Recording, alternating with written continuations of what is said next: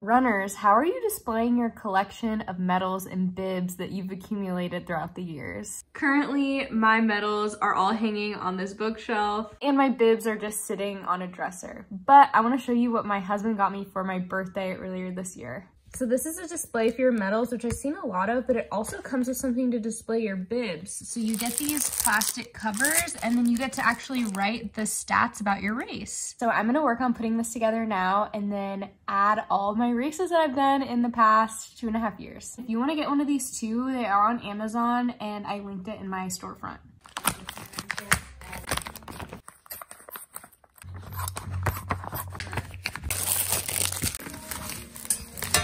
All right, so here it is. So this is where the bibs will be and then the medals will hang here.